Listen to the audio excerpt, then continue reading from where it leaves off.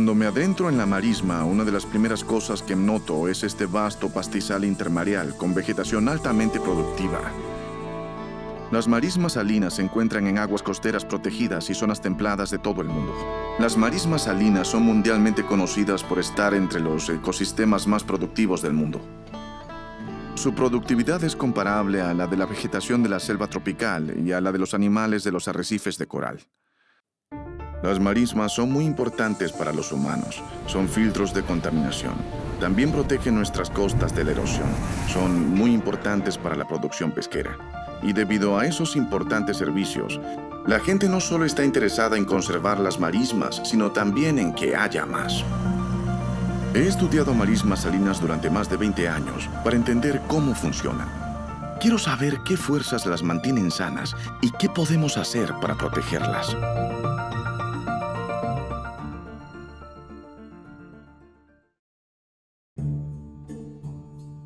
La abundancia de plantas en un ecosistema se puede regular de abajo hacia arriba o de arriba hacia abajo. El control de abajo hacia arriba significa que la abundancia está limitada por los recursos disponibles para las plantas, como la disponibilidad de agua, luz solar y nutrientes del suelo. El control de arriba hacia abajo está dado por los animales que comen plantas, los herbívoros y por sus depredadores. Cuando comencé mi trabajo, había muchos ejemplos de control de arriba hacia abajo en sistemas terrestres, pero no en ecosistemas de plantas marinas. Así que todo lo que había leído sobre marismas salinas y su ecología antes de venir aquí me decía que este era un sistema de abajo hacia arriba, donde las plantas que constituían el hábitat se desarrollaron a partir de la cantidad de nutrientes disponibles en el suelo. Pero al principio de mi investigación hice una observación que me llevó a cuestionar esta conclusión. Cuando me adentré en las marismas saladas, cuando comencé a caminar por ellas, mis botas se llenaban de caracoles que caían de los pastos.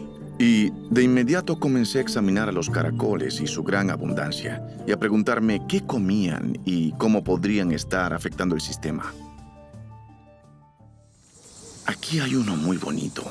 Se llama caracol pígaro de pantano o litoraria y rorata. Son caracoles de tamaño mediano. Pueden llegar a medir hasta una pulgada de largo. Y si miras de cerca, tienen un estilo de vida muy interesante. Suben y bajan por los pastos con las mareas. Cuando vine aquí encontré que esta planta luce como si se la estuvieran comiendo y estaba cubierta por todos estos caracoles. Le quité todos los caracoles. Por todas partes hay marcas de que se la estaban comiendo. La literatura científica que leí me decía que este sistema de plantas de marismas era controlado de abajo hacia arriba. Pero por mis observaciones de campo, me pregunté si el pasto se controlaba por los caracoles que lo comían. En otras palabras, de arriba hacia abajo. Al trabajar con estudiantes e investigadores postdoctorales de mi laboratorio, diseñamos una serie de experimentos para poner a prueba esta hipótesis. Colocamos parcelas en la marisma para hacer comparaciones. Para estudiar los efectos de abajo hacia arriba, agregamos nutrientes a algunas de las parcelas y a otras no. Y para probar los efectos de arriba hacia abajo, montamos parcelas con y sin caracoles. Una de las cosas que debemos hacer es añadir nutrientes. Así que los ingredientes para esta parte del experimento son fertilizante, medias y luego los pondremos en los tubos de centrífuga para ponerlos en la marisma. Vamos a pesarlo. Luego lo envolvemos y rellenamos. Así que estas son las varillas con fertilizante que hicimos en el laboratorio para los tratamientos de adición de nutrientes. Para manipular la presencia de caracoles en nuestras parcelas, utilizamos jaulas de exclusión. Son corrales sin techo de un metro cuadrado hechos de malla metálica y varillas para tomates en las esquinas que sirven como ancla para mantener a los caracoles fuera. En este experimento los dejamos en la marisma durante seis meses. Sacaremos todos los caracoles de esa jaula y veremos cómo responden las plantas a ambos tratamientos. Así que cuando sacamos a los caracoles de la marisma, vimos que el crecimiento de las plantas aumentó 100%. Estaban bajo un fuerte control de arriba hacia abajo. Y vimos una interacción interesante con los nutrientes. Sin caracoles, confirmamos la teoría de abajo hacia arriba. Pones más nitrógeno allí y obtienes mayor crecimiento de las plantas. Se duplican o triplican en tamaño. Pero si había caracoles, esas plantas con fertilizante les parecían deliciosas. Arrasaban con las plantas de esas parcelas. En nuestro experimento, parecía que los caracoles estaban comiendo todo el pasto. Nos preguntamos si lo mismo sucedía en zonas donde los pastos estaban muriendo y se convertía en una planicie lodosa. Ah, mira el frente de caracoles, Joe. Hay unos 200 caracoles en estos seis tallos. Entonces debe haber decenas de miles de caracoles aquí, formando un gran frente de batalla y matando los pastos. Una vez más, usamos jaulas para probar qué ocurría si sacábamos a los caracoles del área donde los pastos morían. Vimos una planicie lodosa del tamaño de varios campos de fútbol y en medio de eso vimos este montón de pasto creciendo. A menudo había caracoles amontonados en los bordes tratando de entrar en esa jaula de saludable pasto. Parecían mechones gigantes de cabello creciendo en una cabeza calva.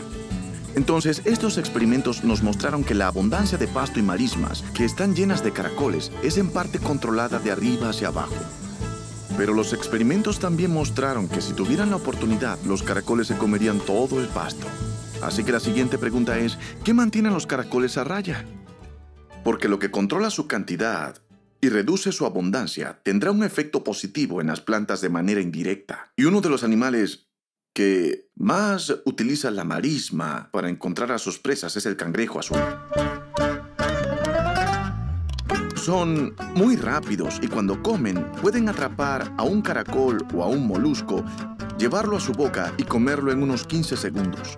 Para ver si los cangrejos azules controlan a los caracoles, fijamos algunos caracoles. Eso es cuando pegas caracoles a un diminuto hilo de pescar atado a un pequeño tubo de PVC.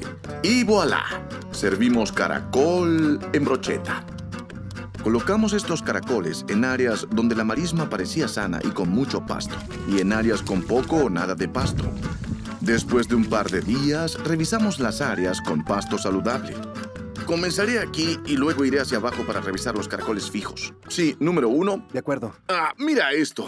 Lo marcamos anoche. Sí. Falta un caracol pequeños fragmentos de concha. En el número 10 tenemos un sobreviviente.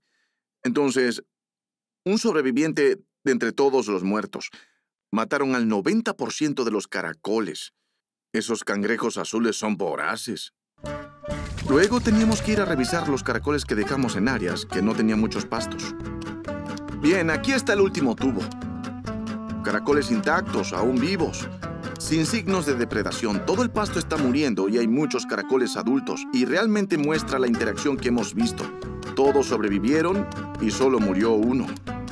El experimento sugiere que donde la marisma es más sana, hay menos caracoles porque se los comen los cangrejos azules.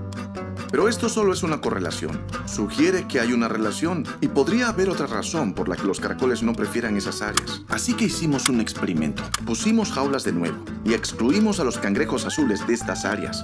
Las crías de caracol entraron en la marisma. Tienen larvas planctónicas y en dos años el número de caracoles en las jaulas aumentó, donde no permitimos el acceso a los cangrejos azules. Aquí todo el pasto había muerto. Por lo tanto, los cangrejos azules protegen la marisma. Llamamos a estos efectos indirectos que pasan de depredadores herbívoros y luego a plantas cascadas tróficas. Los cangrejos protegen al pasto al controlar la cantidad de caracoles que, si no fueran regulados, se comerían todo el pasto. Y ahora entendemos que hay una conexión entre estos pastos, los herbívoros y los depredadores del sistema. Cuando perdemos cangrejos azules por pesca excesiva u otros procesos, vemos que esos frentes de caracoles pueden expandirse y las poblaciones pueden aumentar aún más en estas marismas salinas. Es importante que los depredadores estén cerca para contener a los herbívoros, porque una vez que se salen de control pueden destruir las marismas y los servicios que brindan. La gente tardó un tiempo en aceptar el papel de los factores de arriba hacia abajo en las marismas salinas, que es lo contrario a lo que la comunidad científica suele pensar. Creo que hay un par de lecciones importantes que aprendí de mi estudio de las marismas salinas. A veces, las observaciones que haces no coinciden con la teoría.